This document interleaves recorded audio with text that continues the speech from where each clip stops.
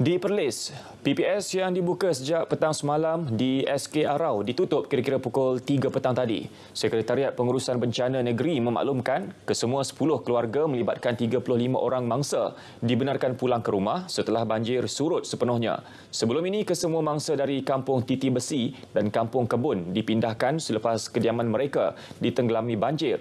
Agensi terlibat pengurusan bencana terus memantau keadaan banjir seluruh negeri berkenaan berikutan hujan kembali lebat petang tadi. Selain beberapa sungai utama berada pada paras berjaga-jaga.